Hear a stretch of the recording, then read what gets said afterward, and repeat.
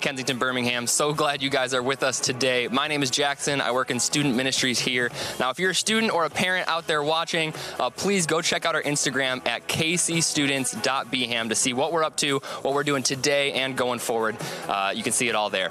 Now, we are in our last week of our The Last Arrow series, and we also get to celebrate over 50 baptisms across our church. That is such a, an amazing, amazing thing to watch today. So, uh, go get comfortable, grab some coffee, get back on the couch, and we'll see you guys back in a minute.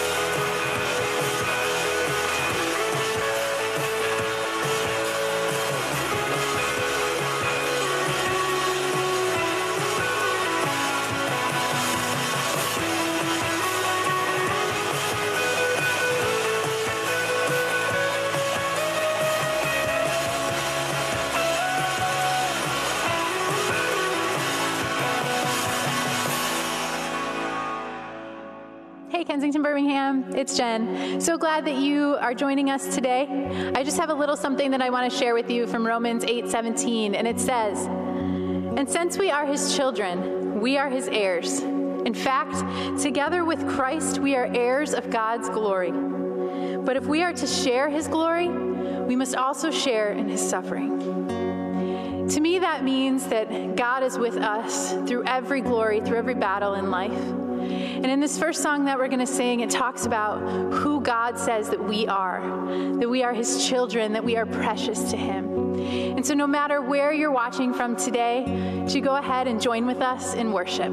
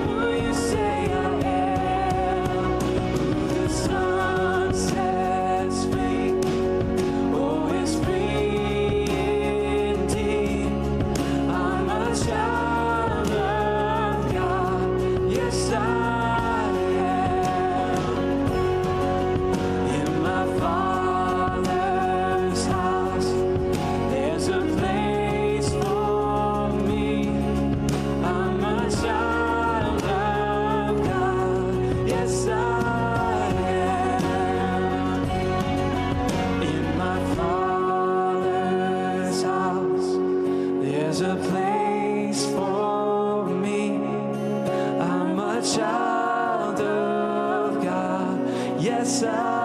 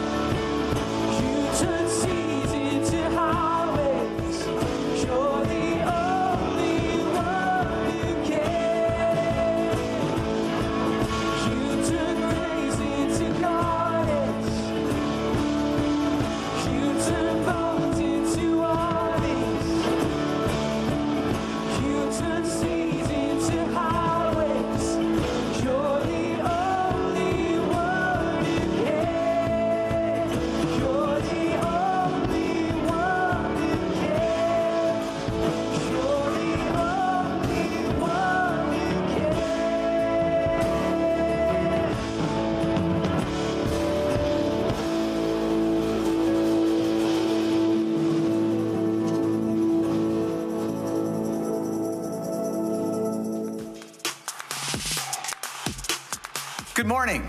On behalf of the whole Kensington community, I want to welcome you. We're so glad you've chosen to join us this morning, whether you're here in person or with us online.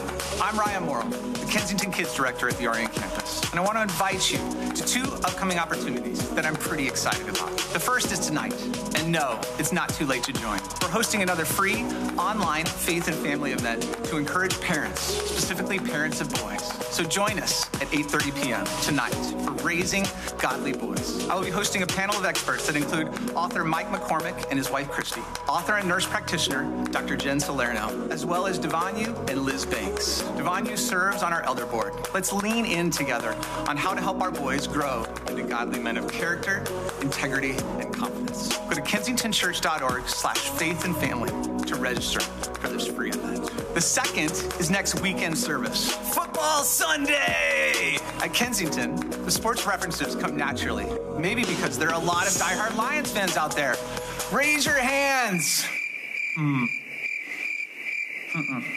During the big game weekend, we pause from a typical series to celebrate amazing stories from different players in the NFL. Instead of doing our own teaching, we show an incredible high impact video hosted by coach Tony Dungy and former NFL player Benjamin Watson. We will also hear from players from the Tampa Bay Buccaneers and the Kansas City Chiefs. Here's a little bit of what next weekend will look like. This is Sam Macho. This is Carson Wentz. Brandin Cooks. And I'm excited to share my story. Share my story during Football Sunday. Football Sunday 2021.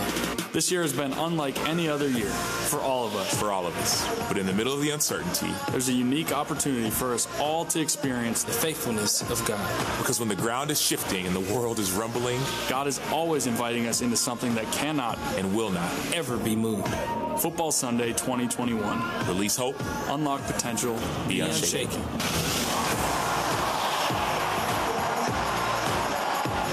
This is the perfect service to invite someone to, especially that sports fan who's been a little reluctant about church. Okay, so let's head back to our service now. We're in the fifth and final week of The Last Arrow. It's been a really powerful series to focus on as we start the new year. I've been mulling over this idea that we can save, hoard, hide, or we can give all that we have and live every second. Let's live that way, shall we? Today's service is titled The Release. So let's discover together what that means for our lives. Thank you for joining us.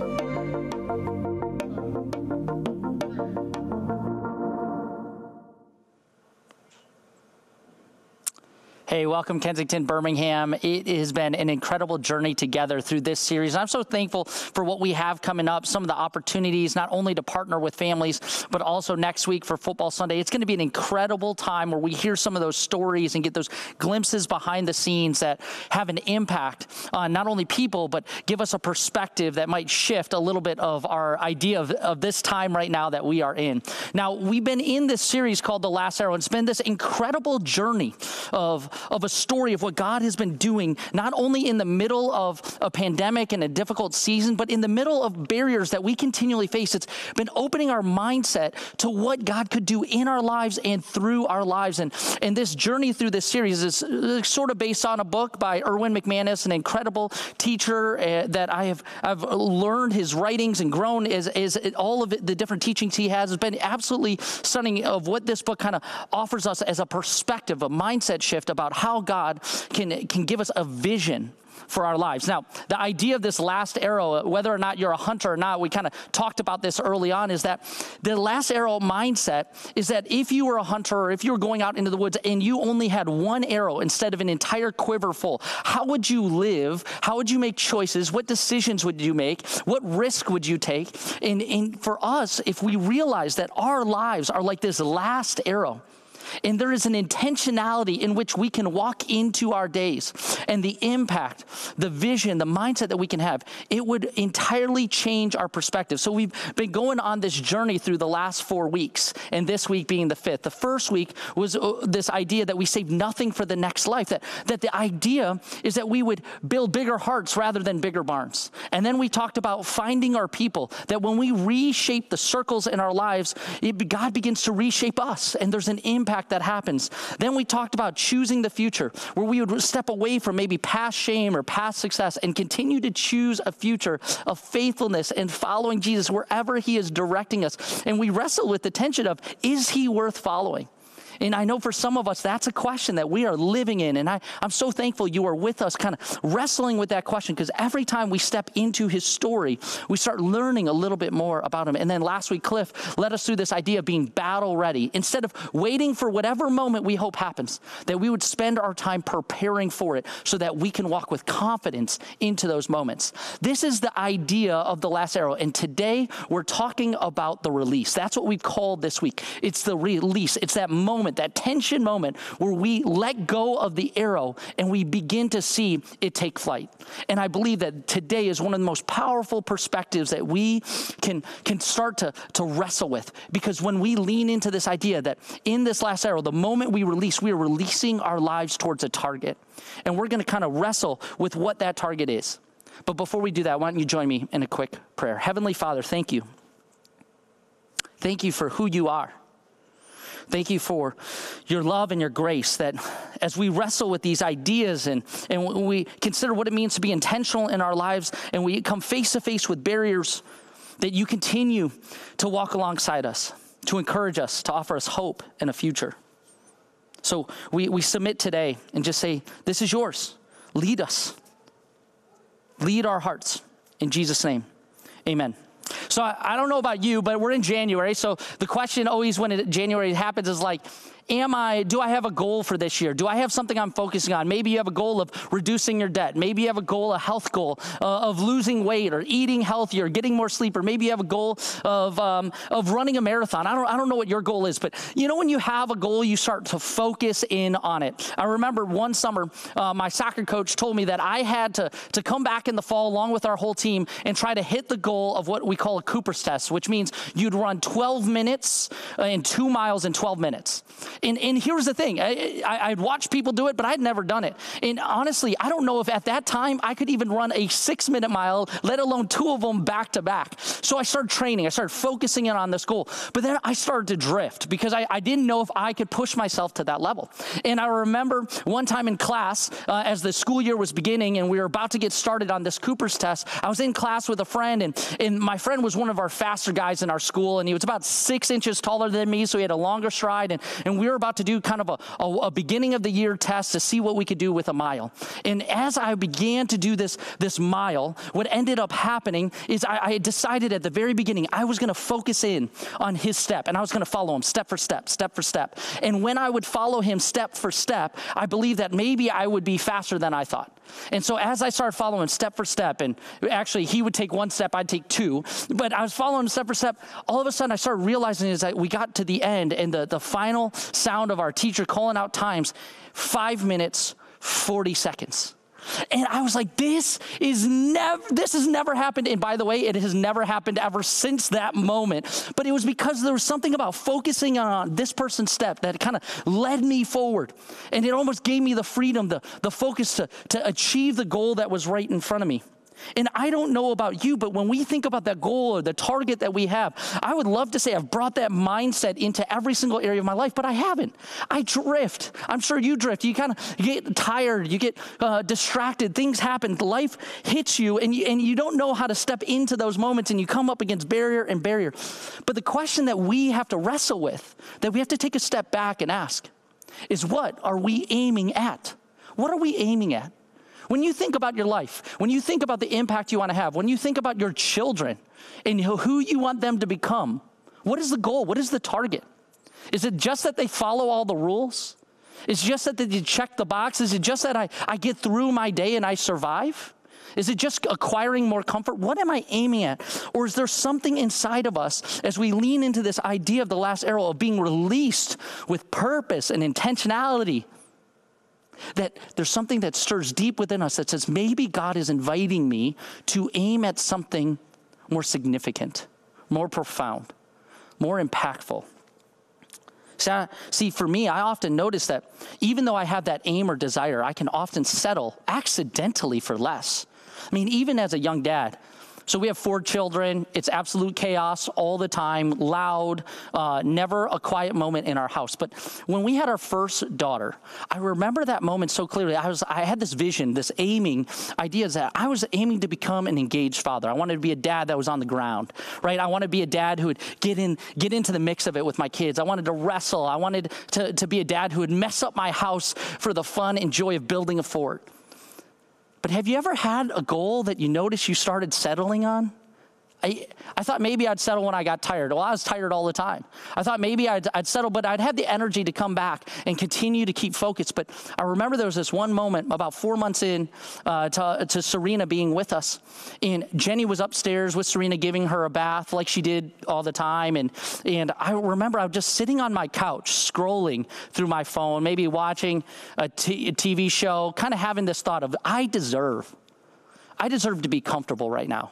I deserve I deserve to relax again. I deserve, and all of a sudden, this idea of what I deserve, this comfort and what I desire to consume, and all the things me, me, me, me, me, start realizing that I was missing out on the very thing I was aiming for.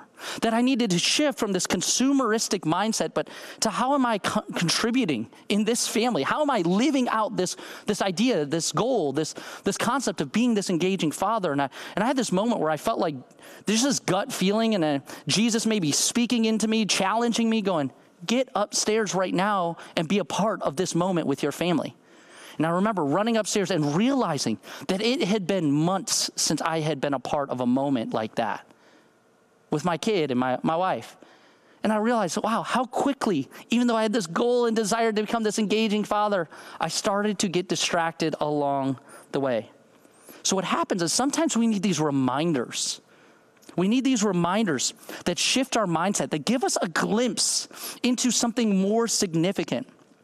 And so we had this opportunity last week to begin uh, to celebrate baptisms with people. And baptism, I don't know if you, you know what baptism is, but just kind of quick overview. Baptism is what we call an outward expression of an inward reality. It's this moment where people, and it's been this tradition for thousands of years, where people would be would go down into the water, signif- uh, signifying that their old life, their old ways, their, the way that they decided their life and aim for life are no longer the, the version of life that they're called to but they're choosing in, in that moment to go under the water, say, I'm going to surrender my life to Jesus. I'm going to follow his ways. And when they come out of it, this idea that they are a new person. It comes from the scripture out of Second Corinthians said, the old is gone and the new has come. So that idea, this outward expression of going down into the water and coming out of the water is this outward expression of an inward reality and decision that individuals make.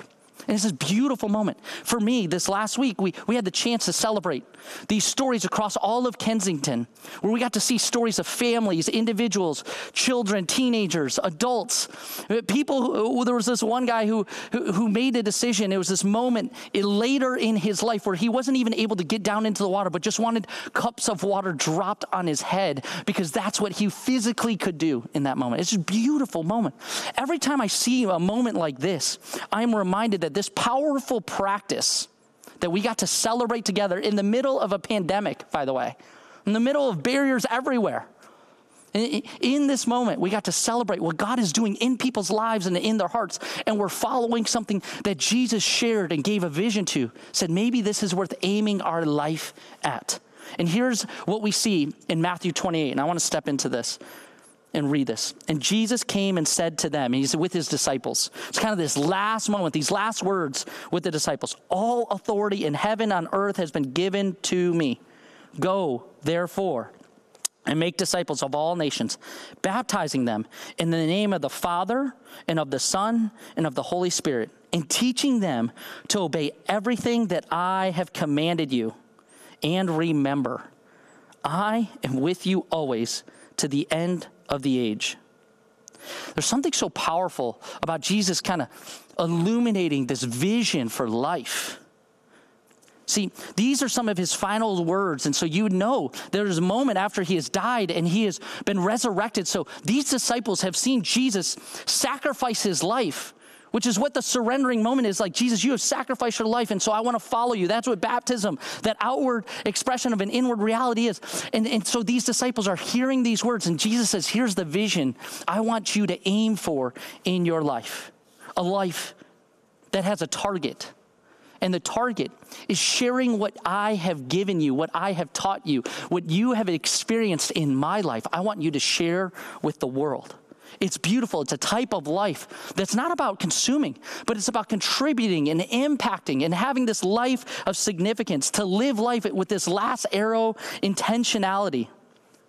And isn't that what we naturally do as humans, as friends, as individuals? Like we walk through life. Maybe you've learned how to, how to navigate finances. Maybe you've learned how to, how to work on a car. Maybe you've learned how to parent a little bit. And so, what do you do when other people have questions and struggles? You offer the very wisdom that you have, the very wisdom maybe that you failed and learned from. And God begins to use those moments in our lives and in our community.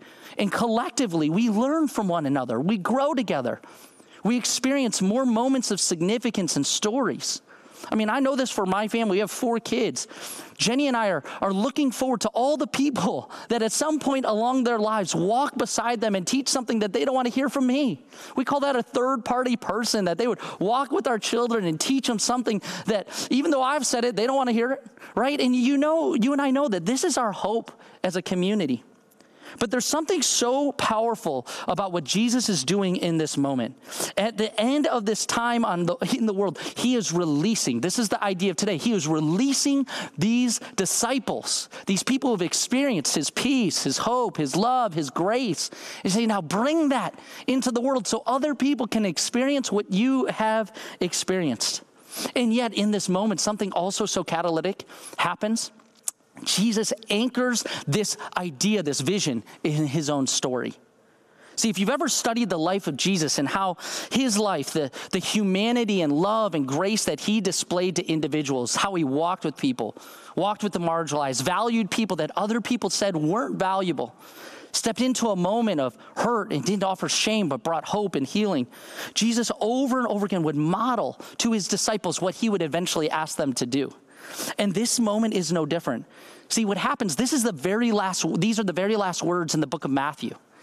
But at the beginning of Matthew, when we begin to see Jesus' life and narrative unfold, when he steps into this world, we hear a little bit of his genealogy and, and his story and his background as a baby and him being born, which we celebrate at Christmas.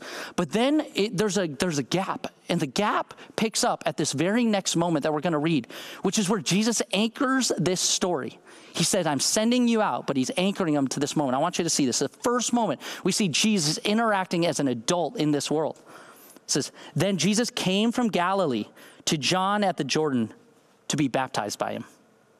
John would have prevented him saying, I need to be baptized by you, and do you come to me? Like John, the, he's named John the Baptist, saying, like, you're coming to me for me to baptize you? I'm not even worthy. I should be baptized by you. But Jesus answered him, Let it be so now. For it is proper for us in this way to fulfill all righteousness. And then John consented. And when Jesus had been baptized, just as he came up out of the water, suddenly the heavens were opened to him, and he saw the Spirit of God descending like a dove and aligning on him. And a voice from heaven said, This is my Son, the beloved, with whom I am well pleased. What Jesus does in this moment when he anchors the story of what he's sending and, and telling these disciples to, to go do and be in this world, Jesus is releasing his disciples to follow his lead. He's anchoring our story in his own life. And he says, Follow my lead. To you and me, he's saying, Follow my lead of where I'm taking you, the vision I'm giving for your life, the way that I've modeled my love and my grace in this world. And he's, and he's over and over again inviting him. And one of those ways we do that is what we're celebrating today this idea of baptism, outward expression of an inward reality. But what we have to realize, what is so beautiful about this story, what is so beautiful about Jesus is baptism isn't the target. It is the release. It is the moment we let go and we are released towards the target of life.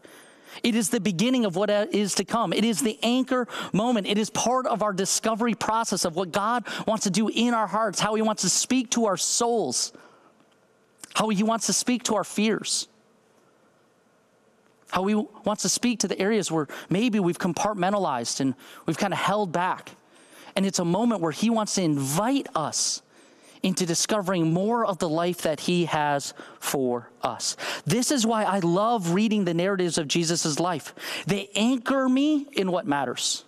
They anchor me when so often I desire to almost drift towards comfort. They brings me back and says, This is what a meaningful life is about. And while a comfortable life may feel good, there's something more significant to aim for a risk, a step of faith, the moment of a release into the world to bring hope, to bring joy, to bring peace along with us because we have learned those things along the way. See, it's what I find myself always coming back to in this idea of the Sermon on the Mount, Matthew 5, where Jesus is speaking. Jesus actually gave us a vision of the target. So, what are we aiming for? This is what Jesus kind of shares when he's asked, How do we pray? This is what he says Matthew 6, 9 through 13. Maybe you've heard this before. Our Father in heaven, hallowed be your name. It's this idea of worthy is your name. You, you deserve worship, God. You deserve so much more glory. You deserve, there's something so powerful about you. And he says this Your kingdom come, your will be done on earth as it is in heaven on earth as it is in heaven. Now, I know many of us, if you if you grew up in a, a faith tradition and as a child, you may have recited this over and over again, and you could walk totally through it. But I'm just going to pause us right there. Your kingdom come, your will be done on earth as it is in heaven. This is the vision. This is what God is saying we are aiming for. When Jesus is releasing his disciples into the world, he's releasing them towards this vision Your kingdom, God, your kingdom come on earth as it is in heaven. Today is not just about baptism. It is a celebration of what God has been doing in people's lives. Over 40 people being released into the world to be on mission with God, to, to teach others what they have learned. But it's also a celebration of all those people who have been praying for these individuals, walking with these individuals, mentoring these individuals, and the impact of the community having together. See, today is not just about celebrating one story, it's celebrating the stories that are interwoven together.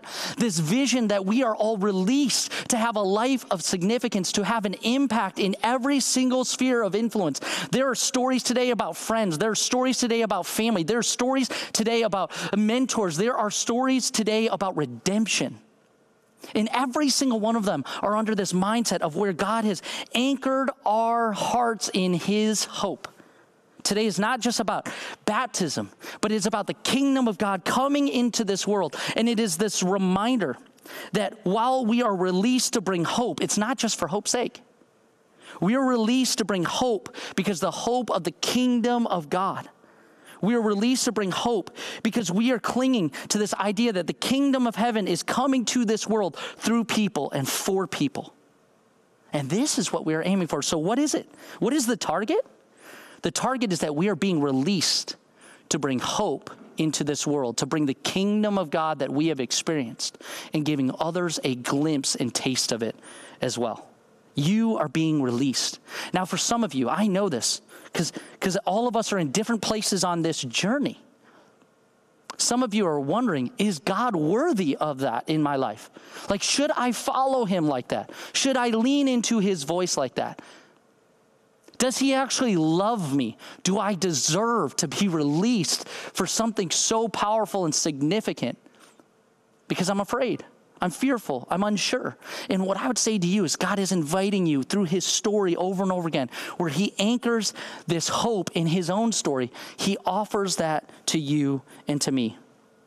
For some, you're asking, well, where, God? Where are you releasing me to bring the kingdom? In every single sphere of influence, in every single relationship, but it's more about what we're bringing. We bring a kingdom that modeled grace, that models forgiveness, that models humility, that models love, that models listening and learning and growing together, that models serving one another and serving the world around us. We, we, we model a kingdom that brings healing to the hurting and hope for the desperate. Like this is this is what we pray when we say your kingdom come and we're saying give us our daily bread. We're asking God, will you lead us to bring your kingdom to this world? See, I believe that Jesus every single time that we step into that prayer, almost with a desperation, He's telling us to bring hope because hope feels like home, doesn't it? Doesn't hope feel like home when you experience somebody who has hope in the midst of difficult circumstances? There's something that sits so deep in our souls like that. That feels right, and I don't even know why, because it feels like hope. And the disciples are called to bring that type of hope into the world. Bring hope to the hurting. Bring hope to the frustrated. Bring hope to the fearful, the marginalized, and those that don't have a vision. Bring hope to all of God's children. Bring hope and access because that hope that feels like home is anchored in Jesus, in his life, his death, his resurrection, and the way that he modeled it. Because when we do, when we bring that type of hope, we get a glimpse of God's goodness and His grace intersecting our world. We get a, a picture of what His kingdom come truly looks like. What anchors me, one of the things that I, as I was thinking about this, I wrote, God sent His Son from the comforts of heaven for the hearts of humanity to offer hope. Think about that. God sent His Son because He said, You and me, we're so valuable. He loves us so much that he would leave the comfort of heaven for the hearts of humanity to offer us hope, healing, restoration. Said, This is why I'm be- releasing you back into the world. You are being released because this is the type of life that you are being offered. And I know if you ever if you ever shot a bow before, a compound bow specifically, and you were to pull that bow back, something happens, right? I don't know if, this, if you've ever done this, but the first time I was taken out to do this with, with my buddy DC, he had me pull that bow back. And what happens is if you keep that bow, that last arrow kind of tight in the tension of what is going on, and you don't release the arrow towards the target that you're aiming at, what begins to happen is you begin to lose strength. You begin to lose your ability to hold on. And all of a sudden, you begin to shake, and it's harder and harder to focus on the target because of the tension that you are in. And I wonder if God is releasing some of us right now and saying, There is a vision I have for you. And you've been holding on for the perfect moment. You've been holding on till you have it all figured out, till you have it all together. And He's like, No. I'm releasing you into the world to teach what one step you have learned to others, what two steps you have learned to others, and just guiding people along the way, following step after step after step. The question is, what are you aiming for? Now, before we kind of, I want to give you this acronym just to kind of close out our time. I want to take a moment and receive our offering because we're, we're going to have an opportunity to watch some of these stories, these incredible stories of what God has done in some people's lives. And we just get a glimpse of the kingdom of God coming to this world. And we get, get a glimpse of the stories of transformation. And when you give, I would just say this these stories are what you're a part of. And when you give, when you're a part of this community, you're saying, This is my place, you're a part of the stories of transformation that are happening not only overseas, but right here in this world, in this community. You are part of those stories. So I just want to say thank you. Thank you for your generosity. Thank you for your partnership. Thank you even for those of you during this unique time where we don't even get to be in the building together, but we still are a community encouraging one another, that you are part of something so significant you are so generous, and, and we get to have an impact in this world with the barriers that we are facing. All right, so here, this idea A is for anchor. See, the acronym is around the word aim. What are you aiming for? What are you aiming at? A is for anchor. You know, when I think about anchors, the anchor points will remind us of where we're stuck. Like, where, where do we keep our foundation? I was uh, on a boat with a buddy of mine, and, and neither one of us are very good at uh, driving boats, let alone knowing what to do. And he borrowed a boat from his buddy. And so we're up in, in northern Michigan, and, and we're out with our families, and we decide to pull over to this one. Um, uh, this one island, right? And so we throw the anchor down from his buddy's boat. And we've never used this boat before, so we just figure that anchor can hold the boat. So we throw the anchor into the water, tie it up, and then we go on this hike around this island. And when we came back, that anchor started moving and the boat wasn't where it was. The boat had been hit by the waves and started drifting out into the lake around the edge of the island, and we had to go searching for it. And I think about this anchor point. Today is an anchor point because when we anchor our lives into something significant, we're able to experience all the hope of, of that foundation. We're able to cling to that foundation even as the world is chaotic. Obviously, we didn't do a very good job of it, but today, when we look at the stories of baptism, it's an anchor point for you and for me to remind us of what God has not only done in, in people's lives, but what He has done in our life. What is he continuing to do in our life? When we when we go into our small groups and we, we spend time, even in this season on Zoom, encouraging one another, and we have those kind of discussions in group life, those are anchor points reminding us of where hope lies and how we can encourage one another when we get the opportunity to come back into this building and we get to meet together. And we're prayerfully uh, hoping that that will be sooner rather than later. Like when that moment happens it's that anchor point. But right now we're still doing that. We're still gathering. And those stories are anchor points for us to go. This is what the foundation is. And anchor points remind us that we cling to an unshakable kingdom in a shakable kind of world. We cling to an unshakable kingdom one that holds our hearts, knits them together, offers significance and value. And when we are anchored, we are able to withstand the waves. We're, uh, we're able to withstand our doubts and the fears and trust and lean into what really matters. We're able to be released towards a vision. So, where's my anchor? I is identity.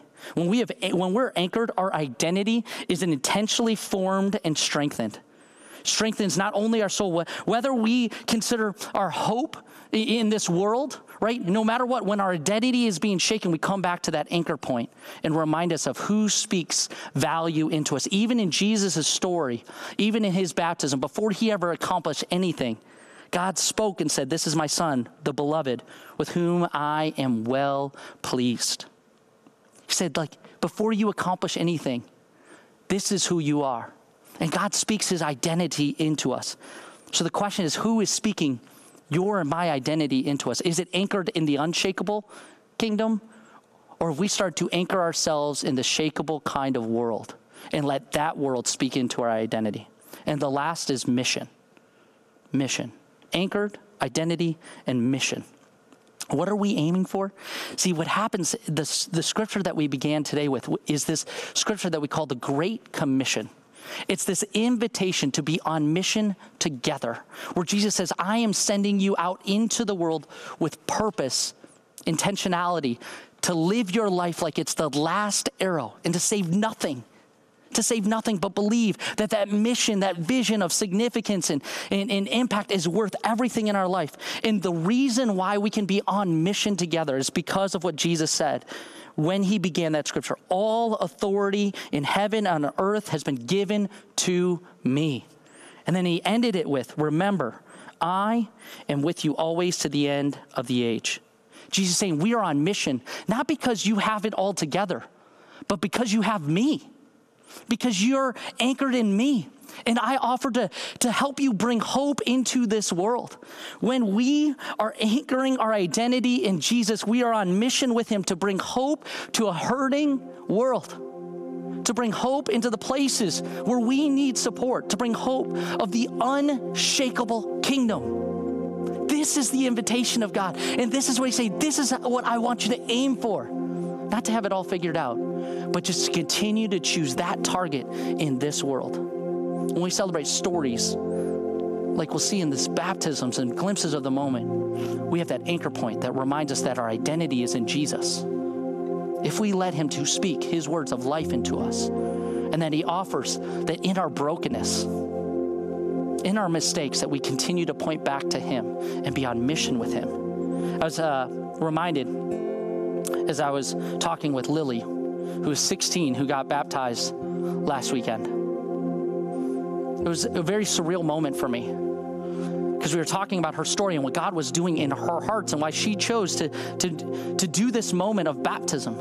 And I was taken so quickly as she was sharing with so much joy in her life about what she believes God is going to do in her and through her. I was reminded that when I was 16 years old, April 16, 2001, I remember the moment when I was surrounded by friends, a mentor who had a vision for the kingdom of God and offered me a glimpse of it, and a friend who did the same. And I remember as a 16 year old making that decision, not having my life together, not knowing a ton about the scriptures or the Bible and what Jesus asked, but knowing that I wanted to follow him wherever he led. And I'm looking at Lily and thinking, she is going to be a world changer because she is choosing to follow Jesus into the future of her life. When we lean into Jesus' voice, we get to bring hope because hope feels like home. It is the kingdom of God in our world, and we get a glimpse of that today.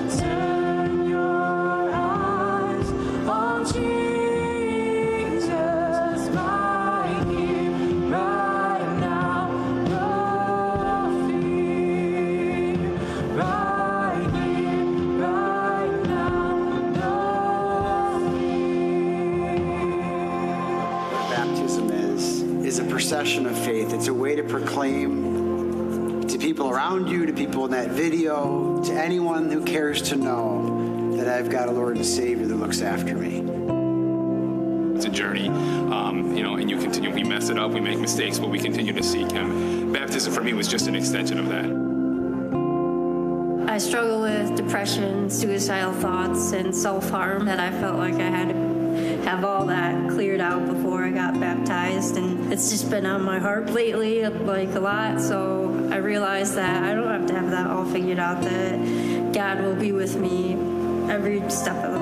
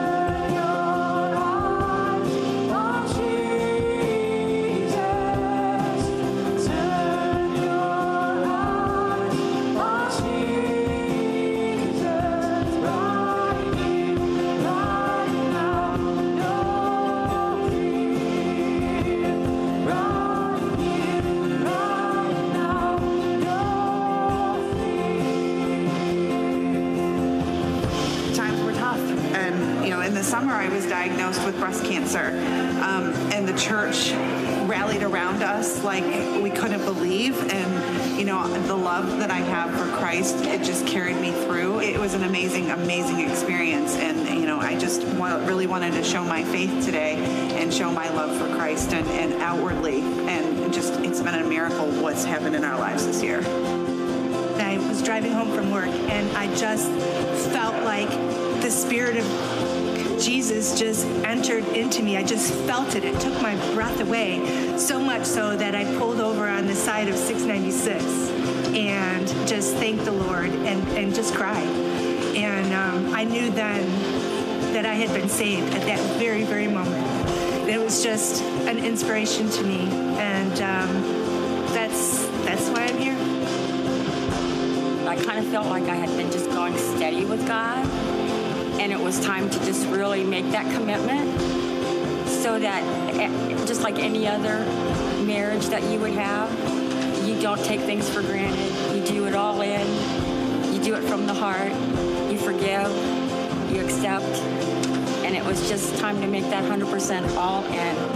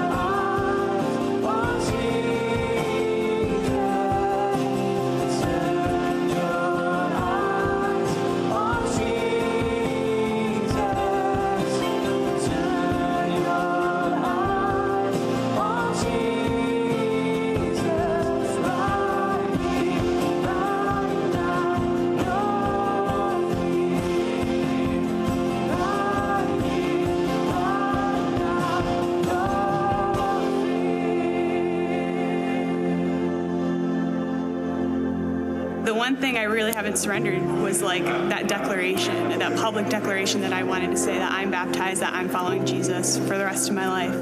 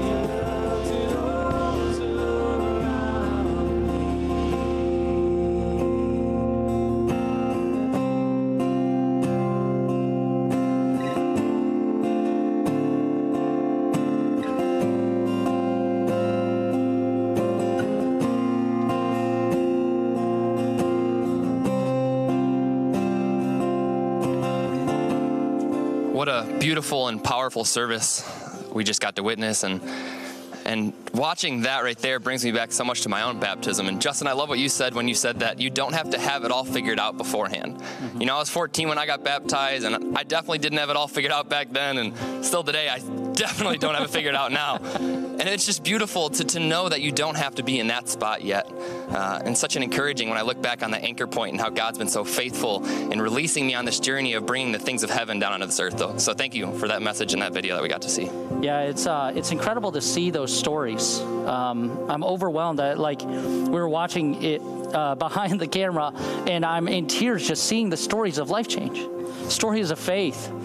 Um, they do so much for my soul, and I hope it's an encouragement to yours. That that's why that anchor point is so powerful because it reminds us about the God who loves us, who cherishes us, who desires so much for our life. And and my hope is that today, and through this last arrow series, that you would be encouraged that you would have a vision, that you want to step into that future, and that you would wrestle with some of those tensions in that moment of maybe you've been holding on to that arrow and it's time to release it towards what truly matters, what towards what God is calling you into. And so we're so thankful to be here with you and uh, that you've been with us in this journey. We hope you have an incredible weekend and we will see you back next week for Football Sunday.